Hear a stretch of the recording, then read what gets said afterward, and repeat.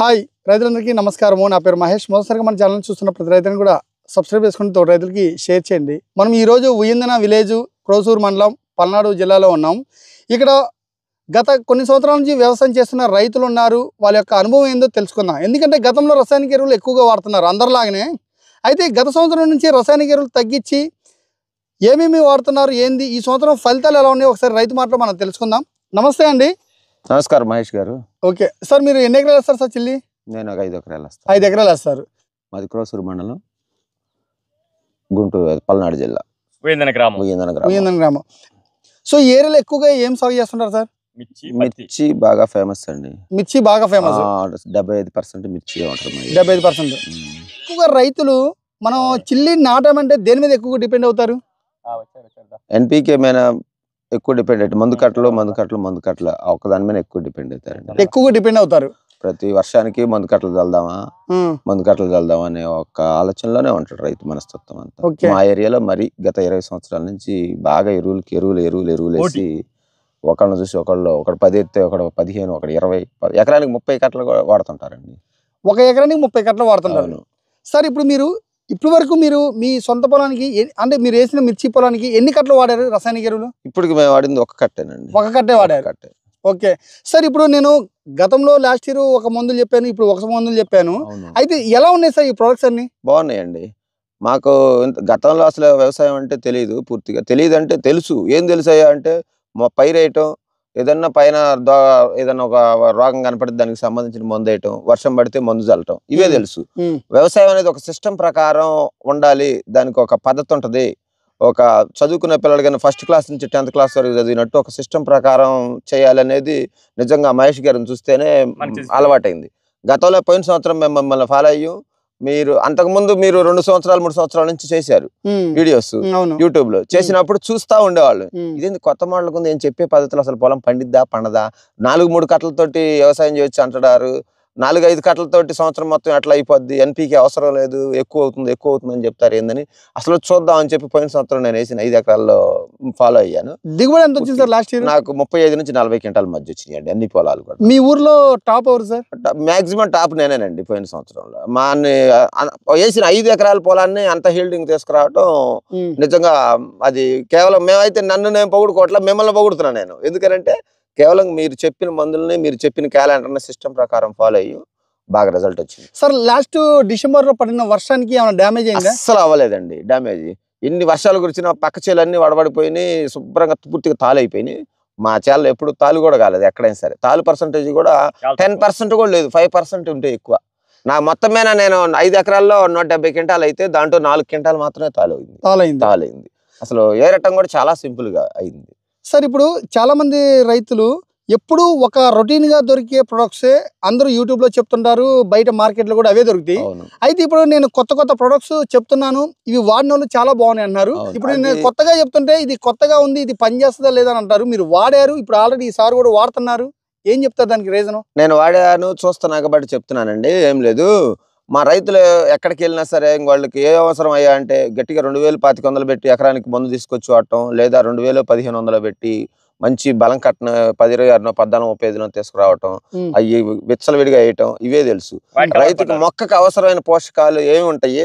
అవి అవసరమైనవి మనం వేస్తున్నాం ఏమనేది ఆలోచన తెలియదు రైతుకి. అది తెలియదు ఎవరన్నా మీలాంటి వాళ్ళు షాపులు లాంటి వాళ్ళు చెప్పినా కూడా వాళ్ళకి అదొక మామూలు పిచ్చి మాటలా కనపడిద్ది. అది ఆ, అది ఎక్కించుకోరు. వాళ్ళకి అర్థం కాదు. ఆ అర్థం కాని దాని మీద రైతు ఇంకా తను పందాలో ప్రతి గత ఇరవై సంవత్సరాల నుంచి ఎలా వెళ్ళిపోతారో అలా వెళ్ళిపోవడానికే ప్రయత్నం చేస్తుంటాడు కొద్దిగా చదువుకున్న వాళ్ళు జ్ఞానం తెలిసిన వాళ్ళు అసలు మొక్కకి ఏం అవసరం? మొక్క ఎట్లా ఎక్కడ పెరిగిద్ది? దానికి మూడు రకాలు ఎన్పీకే మాత్రమే అవసరమా? దానికి అవసరమైన పదహారు రకాల పోషకాలు ఇరవై రకాల పోషకాలు ఉంటాయి. అవన్నిటిని మనం అందించాలా అందిస్తున్నాం అందించట్లేదా అన్న ఆలోచన రైతుకు తెలియదు అది చదువుకున్న మనలాంటి వాళ్ళు ఒకళ్ళ నుంచి ఒకళ్ళు ఒకళ్ళ నుంచి ఒకళ్ళకి స్ప్రెడ్ చేసుకొని ఒక్కసారిగా మార మారకపోయినా నాలుగైదు సంవత్సరాలు అలా మార్చడానికి ప్రయత్నం చేయాలండి. సార్ ఇప్పుడు గతంలో ఎప్పుడైనా మెగ్నీషియం వాడారా మీరు? అసలు తెలియదండి వర్షం పడితే ఎక్కడన్నా వడబడ దగ్గర తీసుకొచ్చి చల్లుతూ ఉండేవాడు మా పెద్దలు. మేము కూడా మనకి ఏదైనా వర్షం పడితే మెగ్నీషియం చల్లాలంటే అని తెచ్చి చల్లేవాళ్ళం. ఆ ఒకటే తెలుసు మాకు. సార్ ఇప్పుడు మీరు మెగ్నీషియం వాడుతున్నారు? గత సంవత్సరం నుంచి దాని రిజల్ట్స్ ఏంటి సార్? చాలా బాగుంటుందండి.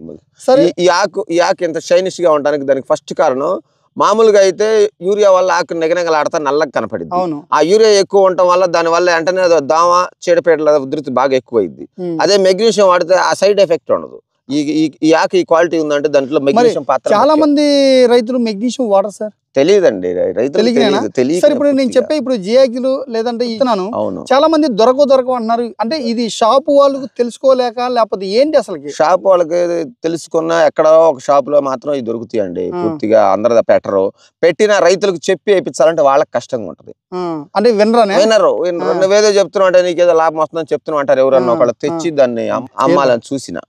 రైతులు పూర్తిగా దాని వల్ల తెలుసుకోలేకపోతున్నారు. తెలుసుకోలేకపోతున్నారు. అవును. మొక్కకి అసలు ఏం అవసరం? ఇది ఎక్కడ అవసరం? బయలుదేరుతుంది. దీనికి లాస్ట్ కంటే ఏం కావాలి? ఏది ఎంత పర్సెంట్ కావాలి? ముందు అది తెలుసుకోవాలండి. భూమిని మనం ఎలా శుద్ధి చేయాలా? సార్ ఇప్పుడు ఉన్న టెక్నాలజీ ప్రకారం ఇప్పుడు వచ్చే కొత్త ప్రొడక్ట్స్ ఈ టెక్నాలజీతో వ్యవసాయం హ్యాపీగా చేసుకోవచ్చు చాలా సంతోషంగా చేసుకోవచ్చు అండి అస్సలు ఉరకాల్సిన పనిలా నడవాల్సిన పనిలా. గుండె మేము చేసుకొని నిద్రపోవచ్చు. మహేష్ గారు నిజంగా మాకు పెద్ద గురువులాగా మాకు. పాఠాలు నేర్పిండు. పోయిన సంవత్సరం నా అంతకుముందు రెండు సంవత్సరాలు చూశాను. పోయిన సంవత్సరం మిమ్మల్ని ఫాలో అయ్యి నడిచాను. ఆ నడకలో వెళ్ళిపోతున్నాం మేము. గుండె మేము చేసుకొని నిద్రపోవచ్చు అసలు. మాకు ఒక నల్లి వచ్చిందని కానీ ఒక వైరస్ వచ్చిందని కానీ చేను ఆగమైపోద్దని భయమే లేదు. ఎన్ని వర్షాలు కురిచినా ఎంత బెట్ట వచ్చినా. మీకు ఐడియా ఉండే ఉంటుంది. మొన్న ఒక ఇరవై రోజులు పూర్తిగా బెట్ట వాతావరణం. ఆ వాతావరణంలో పక్కన వాళ్ళంతా నీళ్ళు పెడదామా నీళ్ళు పెడదామా అని కంగారు పెట్టారు. ఎందుకంటే మొక్క అది యూరియా పొటాషు నత్రజని ఎక్కువ తీసుకోవడం వల్ల అది వాటర్ ఎక్కువ అవును. కానీ మన అసలు వాటర్ అడగట్లా. అడగట్లేదు. కళకళ కళ్ళాడుతున్నాయి ఎందుకంటే దానికి ఎండాలు కనపట్ల మన ఆరోగ్యానికి ఆకుకూర ఎంత మంచిదో? అవును. ఏదన్నా ఎక్కడైనా ఫంక్షన్కి వెళ్ళి మటన్ చికెన్ తీసుకున్న తర్వాత వెంటనే బయలుదేరిన దగ్గర నుంచి వాటర్ వాటర్ వాటర్ అనిపించింది. అవును. అదే పప్పు అన్నం మీరు అన్నట్టు నీట్గా తింటే. చాలా శుద్ధిగా ఆకుకూరలు తింటే ఆలోచన ఉండదు అలవాటు ఉండదు. అంతే కదా. మన మొక్కకు కూడా మనం నాలుగు పదహారు రకాల వంట వంటలు ఎట్లయితే మనం తిని సంతోషంగా కొంచెం కొంచెం తిన్నా హ్యాపీగా ఉంటుందో మన. మొక్కకు కూడా అలా ఉంటది. ఈ రైతులు వాడే ఎన్పీకేలు వాడటం వల్ల బిర్రుగా తింటే తిన్న రోజు మటన్. బిర్యానీ చికెన్ ఫ్యాన్స్ తింటారు. బయలుదేరి బయటకు వచ్చిన కానీ వాటర్ వాటర్ అంటుంటారు. సైడ్ గ్యాస్ ట్రబుల్ ఎలా స్థిరత బయటకు వచ్చేదాకా. సార్ ఇప్పుడు మొన్న మనకి పది రోజులు వర్షం కురిసింది కదా ఈ వర్షానికి ఏమైనా డ్యామేజ్ అయిందా? అసలు అవ్వలేదండి. ఇదిగో చూడండి మా పొలం మొత్తం మా పొలం డామేజ్ అయిన పొలం లేదు. పొలం. లేదు అసలు మా మా ఏరియా ఇది ఎన్ని రోజుల తోట సార్ ఇది? యాభై ఐదు రోజుల తోట అండి. యాభై మా. తమ్ముడిది ఇది ఈ- చేను. ఆ, పక్కద ఆ ఒకసారి అక్కడ చూపించాను ఆ. అరగదోలేదు పక్కద వ్యవసాయం చేసేది మా చేను. ఓకే. పోయిన సంవత్సరం నన్ను ఫాలో చూసి మా తమ్ముడు మా అన్నయ్య ఏదో డిఫరెంట్గా ఉంది ఆయన వ్యవసాయం ఏదో పద్ధతి వేరుగా ఉందని ఫస్ట్ నుంచి కూడా నన్ను ఫాలో అయ్యి మరి ఈ పద్ధతికి ఎందుకు సార్ రైతు? ఇటు యూట్యూబ్లో ఇన్ఫ్లుయెన్స్ వల్ల లేకపోతే ఎందుకు ఈ పద్ధతికి వెళ్ళిపోవట్లేదు? ఎక్కువ రసాయనాలు ఎరువులు కెమికల్స్ ఎక్కువ చెప్తుంటారు. మీరు మాత్రం పక్కాగా న్యూట్రియన్స్ మీద ఫోకస్ పెడతారు. న్యూట్రియన్స్ రైతు డైవర్ట్ అవ్వట్లేదు రైతు డైవర్ట్ అవ్వట్లేదు అంటే ఒకసారిగా రైతులో మార్పు రాదండి. ఈ రోజు రైతు అనేవాడు నిజం చెప్పాలంటే ఒక మూటత్వం వెళ్ళిపోతుంటాడు. ఇంకా అతని పంద అతనిదే కానీ మారదాము వ్యవస్థను మారుద్దాం అన్న ఆలోచన రాదు. నిదానంగా ఒకళ్ళని చూసి ఒకళ్ళు ఒకళ్ళని చూసి మా ఊర్లోనే పోయిన సంవత్సరం మమ్మల్ని చూశారు అయినా కానీ మారారా అంటే మారరు. మన చేను పక్కోడు కూడా అబ్బాయి ఈ కాదురా ఈ మందు కట్టలు చల్లకూడదురా ఈ ఆటోలు ఆటోలు ఈ బళ్ళు బళ్ళు పోయటం కరెక్ట్ కాదని మేము చెప్పినా మా మాట కూడా వినరు. పోయాల్సిందే బండ్లు వాళ్ళ వాళ్ళకి అట్లా పోసి ఇంటికి వెళ్తేనే మనశ్శాంతిగా ఉంటది. మనశ్శాంతిగా ఉంటది. నిజంగా. పెరగన్నం తిన్నోడికి ఎలా. మనశ్శాంతిగా ఉంటది. కానీ ఇవన్నీ? చాలా బాగుందండి. జగ్జిల్ నెంబర్ వన్ ఉంటది. ప్రతి ఐటెం బాగుంటది మీరు చెప్పేది. నేను అన్ని వాడి చూస్తున్నాం కాబట్టి మాకు పోయిన సంవత్సరం చూసి ఈ సంవత్సరం చూసి మీరు చెప్పిన దాన్ని ఫాలో అయితే ప్రశాంతంగా రైతు అనేవాడు గుండె మీద చేసుకుని నిద్రపోవచ్చు. నేను రైతులకు ఇచ్చే అభయం ఒకటే. అసలు అసలు భయపడాల్సిన అవసరం లేదు. చూ అసలు మనకి ఒక వైరస్ వస్తుందని కానీ ఒక తామర పురుగు వచ్చి మనల్ని ఇబ్బంది పెట్టిద్దని కానీ ఆలోచన అస్సలు ఉండదు. మేము ఏదైనా మహేష్ గారు మహా అద్భుతం. మాకు ఒక వ్యవసాయం నేర్పిన గురువు. మేము చెప్పేది అయితే ఒక మాటలో చెప్పాలంటే. సార్ ఇప్పుడు మీరు మనం చెప్పిన విధంగా మీరు రెండు దఫాలు ఇచ్చారు కదా ఇప్పటి వరకు మీరు రసాయనిక ఎరువులు ఎన్ని వేసారు రెండు కట్టలు అండి ఎకరానికి. ఎకరానికి రెండు కట్టలు వేసారు ఫస్ట్ ఏమో ఒక పొటాషు. మొన్న వచ్చేసేమో పద్దెనిమిది ముప్పై ఐదు. అంతే. అంతే రెండు కట్టలే. మన జియాక్జిల్తో కలిపి జియాక్జిల్ ప్రాఫిట్ మెగ్నీషియం. ఏడుతో కలిపి. స్టఫ్ స్టఫ్ ఐదు రకాల న్యూట్రియన్స్ ఓకే. సార్ ఇప్పుడు మీరు ఒక ఎకరానికి రెండు కట్టలు పెట్టారు రెండు దఫాలకి. అంటే మీరు గతంలో మీరు ఎన్ని కట్టలు వేసేవాళ్ళు? ట్రిప్కి ఎకరానికి వచ్చేసి మూడు. చివరి వరకు? ముప్పై. ముప్పై కట్టలు వేసారా? Last year? ఆ. ముప్పై ముప్పై కట్టలు వేసారు. తగ్గేదిలే అడుగు.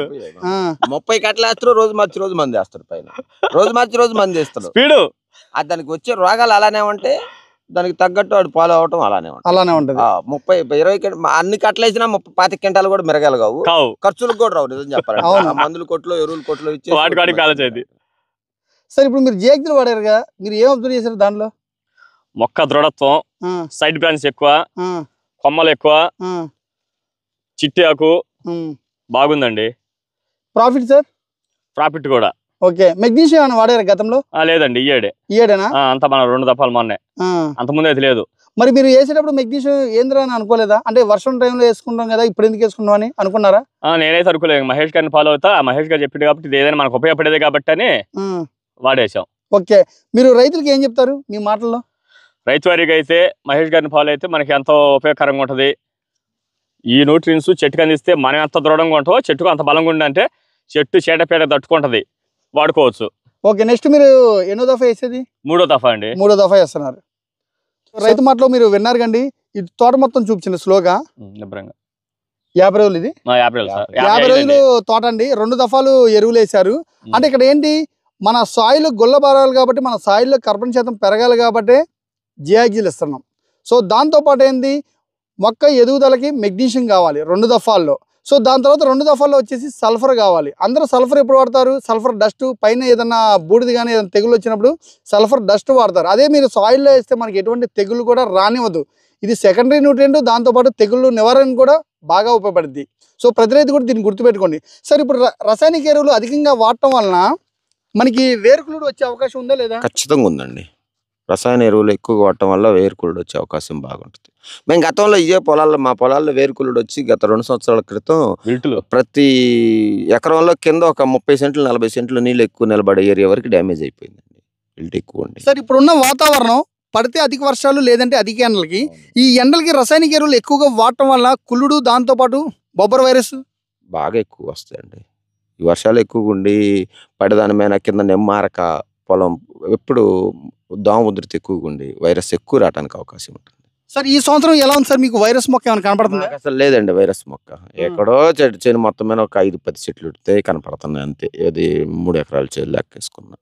వైరస్ అనేది పోయిన సంవత్సరం కూడా మాకు అసలు రాలేదు. మిమ్మల్ని ఫాలో అయ్యాం పోయిన సంవత్సరం వైరస్ రాలేదు. అసలు తామర పురుగు అనేది అసలు కనపడడం కూడా కనపడలే. మా చుట్టుపక్కల పొలాలన్నీ పూర్తిగా ఆకులు మొత్తం వదిలేసినాయి తామర పురుగు ఉధృతికి. ఉధృతికి. మాకు అసలు తామర పురుగు అనే ఫ్యా- ఫ్యాక్టరీ కనిపించలే ఎక్కడైనా సరే. మీకు ఎంత అనుభవం ఉంది సార్? మేము పాతిక సంవత్సరాల నుంచి వ్యవసాయం చేస్తున్నాం అండి ఈ పాతిక సంవత్సరాల అనుభవంలో లాస్ట్ ఇయర్ నుంచి చేస్తున్నారు కదా అంటే మీ కొత్త అనుభూతి ఏంటి? కొత్త అనుభూతి అంటే వ్యవసాయం చేస్తే ఒక సిస్టమ్ ప్రకారం దానికి ఒక పద్ధతి ఉంటుంది. ఆ పద్ధతి ప్రకారం ఫాలో అయ్యి మొక్కకి ఏదైతే అవసరమో ఏ ఏ టైంలో ఏది అవసరమో ఈ ఈ కనిపించే ఈ మనకు కనిపించే ఈ ఆకులకి కార్బన్ డైఆక్సైడ్ అవసరం. మన కడ కనిపించిన ఈ వేర్లకి ఆక్సిజన్ అవసరం. అవును. రైతు అది గ్రహించాలి ముందు అసలు ఫస్ట్. ఆక్సిజన్ దేనికి అవసరం కార్బన్ డైఆక్సైడ్ దేనికి అవసరం అని ఇప్పుడు వర్షం పూర్తిగా మొన్నటిదాకా వర్షం పడింది. ఈ కింద కనిపించే ఏర్లకి ఆక్సిజన్ దొరకలేదు.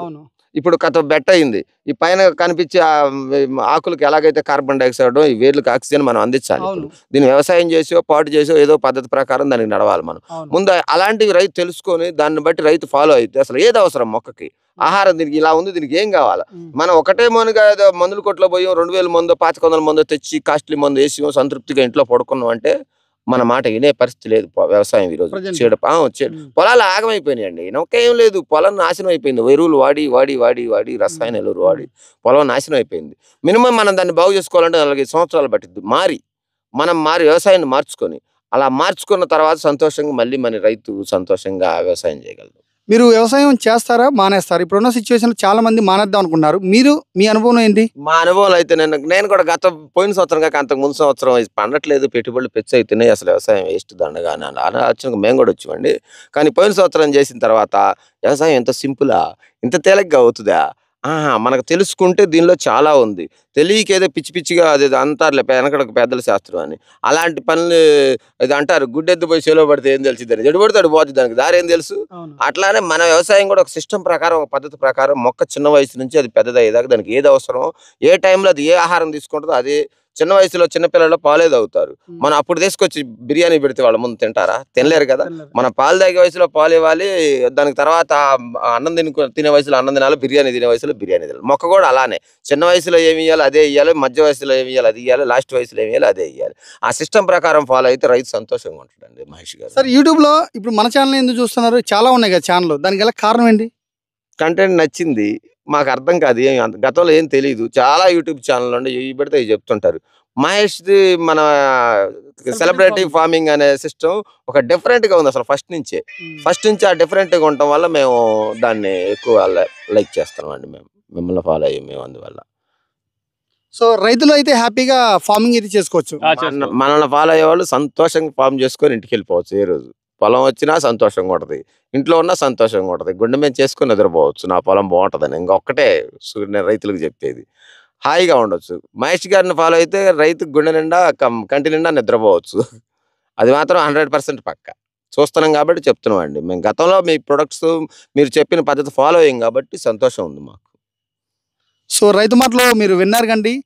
ఏదైతే మీరు నేను చెప్పానో ఆ ఎరువులు ఒక నాలుగు దఫాలు వేసిన తర్వాత ప్రతి రైతుకి కూడా ఒక క్లారిటీ వస్తుంది. మీరు బొబ్బరికి కానీ నలతారుపురికి కానీ లేదంటే వై- వేరుకులుడికి కానీ దేనికి భయపడనస్తల్లా ఇప్పుడున్న వాతావరణంలో హెచ్చుతగ్గుల వల్ల మనం భూమిలో ఇచ్చిన ఎరువులకి మొక్క స్టెబిలైజేషన్ గట్టిగా ఉంటుంది. మీకు ఈల్డింగ్ మీద కూడా ఇంపాక్ట్ ఉండదు. ఎవరైతే రసాయనిక ఎరువులు ఎక్కువగా వాడుతున్నారో వాళ్ళకి ఈల్డింగ్ మీద ఇంపాక్ట్ ఉంటుంది. దాంతోపాటు వేరుకులుడు కూడా ఎక్కువగా వస్తుంది. నేనేం చెప్తున్నాను? అసలు వేరుకులుడు రాదని చెప్తున్నాను. చాలా మంది వేరుకులుడు వచ్చిన తర్వాత కెమికల్స్ పోస్తూ ఉంటారు. దానివల్ల యూజ్ లేదు.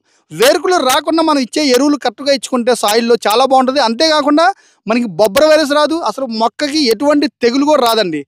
కేవలం మనం భూమిలో ఇచ్చే ఎరువులు. నేనే ఉన్నాను. సరే ఇప్పుడు అందరూ మొక్కను చూస్తున్నారా? నేలను పట్టించుకుంటున్నారా? అందరు పై ఎంతసేపు ఉండా పైన మన కళ్ళకి? కనపడే మొక్కనే చూస్తుంటారండి అందరూ. కానీ మన నేలలో ఇచ్చే పోషకాల వల్ల ఆ మొక్క యొక్క నడవడిక మార్పు ఉంటుంది అనేది రైతులు గ్రహించలేరు. ఈ మొక్క ఇది కొంచెం ముడత కనపడింది అనిపిస్తే ఈ ముడత దేని వల్ల వచ్చింది? ఇది పైన ఎంతసేపు ఉన్నా మనం దాన్ని దామ టచ్ చేసిందా నల్లి టచ్ చేసిందా తామర పురుగు టచ్ చేసిందా అనేది ఆలోచన చేస్తాడు. ఇక్కడ కింద తేడా వస్తే పైన తేడా వచ్చింది అనేది రైతు గ్రహించలేని పరిస్థితిలో ఉన్నాడండి. కింద దానికి ఎక్కువ వాటర్ అవసరం ఎక్కువ నీరు నెమ్ముండి దా- అది సరిగ్గా ఎయిర్ ఆక్సిజన్ తీసుకోని పరిస్థితుల్లో పైన ఆకుల్లో తేడా వచ్చింది. అది తేడా తగ్గాలి అంటే ముందు పైన వేసే స్ప్రేయింగ్ కన్నా మనం కింద పెట్టే దృష్టి ఎక్కువ ఉండాలి. దీనికి కింద ఏం అవసరం? దీనికి ప్రోటీన్స్ అవసరం మైక్రో న్యూట్రియన్స్ అవసరం boron manganese iron zinc copper కింద వేర్లకు అవసరం. అవి దానికి అవసరమైన ఆక్సిజన్ అవసరం. అది సమృద్ధిగా ఇస్తే పైన వచ్చే ఆకు సమృద్ధిగా ఉంటుంది. ఈ మొక్క కళకళలాటానికి కారణం మనం పైన వేసే స్ప్రేయింగ్స్ అనుకుంటాం. కాదు దీనికి కింద నుంచి ఉన్న పోషకాలు కింద ఇచ్చే మన ప్రోటీన్స్ కింద ఇచ్చే జియాక్సిలు కింద ఇచ్చే బలాల వల్లే ఇది ఇంత కళగా ఉంటుందండి. సార్ ఇప్పుడు మనిషి అయినా మొక్క అయినా రెండు ఒకటే కదా? ఇప్పుడు తల్లి బాగుంటే అంటే ప్రెగ్నెన్సీ ఒక లేడీ తల్లి బాగుంటే తనకు పుట్టే పిల్లలు. సంతోషంగా బాగుంటారు. తల్లి. బాగోలేకపోతే? వాళ్ళు ఎనర్జీ తక్కువలో ఉంటారు. అది క్లియర్. మనకు కనిపించేది. అంటే దీన్ని బట్టి మీకు ఏం అర్థం కావాలి? నేల బాగుంటే? మొక్క బాగుంటది. మొక్క బాగుంటే? దానికి ఉన్న కాయలు బాగుంటాయి. హీల్డింగ్ ఫీల్డింగ్ వచ్చింది. అంతే. సో రైతు మాటలో మీరు విన్నారు కండి. మీరు లాస్ట్ స్ప్రే ఏం చేశారండి ఇప్పుడు? ఇప్పుడు నేను సిలిక్జాల్ ఆ, ఇది. ప్రెవెన్సీ ఇంకోటి సక్సెస్ అండి. ఓకే. మీరు సిలిక్ జాల్ ఎందుకు ఇచ్చారు సార్? మొక్క కొద్దిగా క్వాలిటీ ఉంటది దానిపైన లేయర్ లాగా ఏర్పడిద్ది. ఈ వాతావరణానికి ఎండ ఎక్కువగా వచ్చినా తట్టుకుంటది కొద్దిగా ఎండ ఉధృతి ఎక్కువగా ఉందండి వాతావరణంలో. ఇది ఈ నెలలో ఆ ఎండ ఉధృతిని తట్టుకోవాలంటే మొక్క సంత- సంతృప్తిగా ఉండాలంటే ఆ ప్లెజర్ తగ్గిద్దిలే అని చెప్పి సిలిక్ జాలి అవును. సో రైతు మాటలో విన్నారు కండి. సో నేను ప్రతి ఏరియాకి వెళ్తున్నాను ప్రతి జిల్లాకి వెళ్తున్నాను ప్రతి స్టేట్కి వెళ్తున్నాను ప్రతి ఊరికి వెళ్తున్నాను. సో మనం వాడిన ప్రతి ప్రోడక్ట్ కూడా ఫలితాలు ఏందో మీరు చూస్తున్నారు. ఇవే ఫలితాలు ఈ వీడియో చూస్తున్న ప్రతి రైతన్నకు కూడా వస్తుంది. మనకి బొబ్బర వైరస్ వస్తుందని కంగారు పడిపోతాం లేదంటే వేరుకులు వస్తుందని కంగారు పడిపోతాం మాత్రం ఏమీ ఉండదండి. మీరు రసాయనిక ఎరువులు ఎప్పుడైతే ఒక ఎకరానికి నాలుగైదు కట్టలు వాడతారో మనం ఏదైతే చెప్పామో సాయిల్కి సంబంధించిన అవి వాడితే ఇవే ఫలితాలు ప్రతి రైతానికి కూడా వస్తుంది. థ్యాంక్ యూ ధన్యవాదములు.